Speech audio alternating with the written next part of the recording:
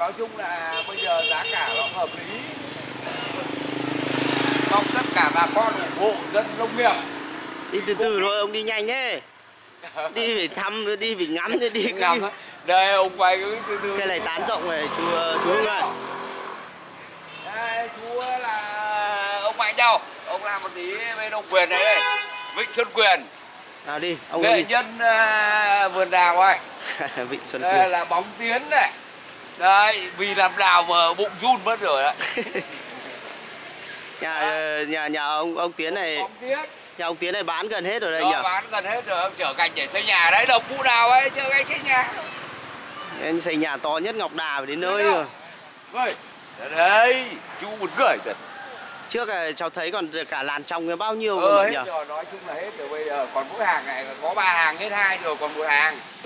Chưa đấy con này đẹp rồi. Con này là rồi đấy. đẹp như nào? Chú thử giải thích như nào. Đẹp thì nói chung là cái vẻ đẹp như kiểu như là mà đá con- bến nước con đỏ cây ấy mà. này cây này cháu thấy cao Ừ, quá. ừ, nó hơi cao một tí. Với cái tầm nhà thí dụ như ai có nhu cầu cần thoáng thoát bên dưới thì người ta chơi kiểu ờ, như là cây đa bến nước con đỏ thì gọi là cây làng dáng làng cho nó thanh thoát.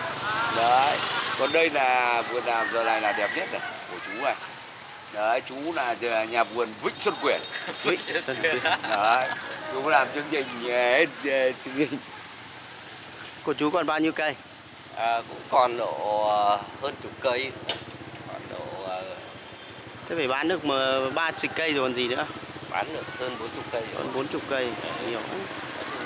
Tất cả rồi. cầu mong cho bà con về ủng hộ. Cây nhiều nhất được bao tiền là chú Quyền? Mấy xịch đâu của tớ thì các cây cây to nhất đẹp nhất to nhất ở đây thì nó chỉ tầm 7 triệu đến 7 À. triệu rưỡi thôi cho thuê Đấy, còn hàng đây cái cái hàng nó vừa vừa này thì nó tầm độ tức là phần lớn là cho thuê chú nhỉ đúng phần lớn là cho thuê cứ Vâng. cái tầm độ 4 triệu rưỡi 4 triệu đấy nhưng năm nay nó ảnh hưởng covid nên là là nó cũng xuống xuống giá một chút như xíu những cái cây như này bây giờ mà cho bà con thuê thì khoảng mấy mấy tiền cái những cây này hả chú? Đấy, như bây giờ chỉ tầm độ 3 triệu với À. cả 2 triệu rưỡi chỉ như này thôi nhỉ? Ừ, đấy nhưng mà nếu mà không ảnh hưởng covid thì nó tầm 4 triệu rưỡi với cả 4 tức là không bị covid thì mình vận chuyển các thứ đi lại nó thuận tiện hơn. Tiền với cả khách hàng họ mua đông hơn. À. từ hôm mà ấy covid là nó cũng khách cảm tưởng nó cũng giảm giảm đi một chút xíu. Thì người ta di chuyển người ta di chuyển ít mà đấy cho nên là nó ít khách người ta đi xem. Coi như kiểu bán ờ, bán chỉ gọi là bán ở từng khu thôi. Đấy cho nên là hàng rất là đẹp. Đấy, năm nay đến tầm bây giờ bắt đầu nụ nên đều hoa thì nở đỏ thắm nở đẫy cánh luôn. Đẹp coi như năm nay là đào ngọc đà là thắng hơn năm ngoái hơn gì nữa. Không nó cũng cũng bình thường. Năm nay thì đào nói chung là ở nàng là đào là đẹp hơn mọi năm. À Thế đây. mà cái nhà vườn Xuân Quyền. Giờ cháu mới nhìn thấy số điện thoại chú rồi hai số ông nào cũng chơi hai ba số điện thoại. Ừ, thì thí dụ như là bây giờ một người đi bận một người bận đi vắng À. thế này có số gọi số khác thì là ra để thế của chú là còn từ đây chạy tít lên chỗ gạch kia không tới chỗ cái cây to to à chỗ nhà còn trên cùng kia lại là một cái biển khác kia đúng không? kia này là của nhà khác. À. cứ mỗi nhà một đoạn.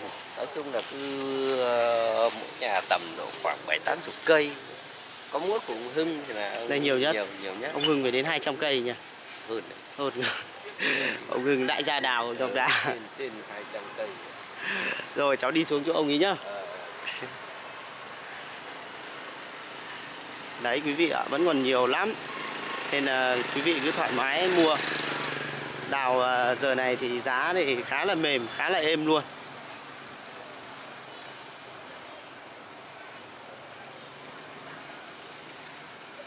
có à, 2 triệu 2 triệu rưỡi một cây. Quý vị thuê thoải mái.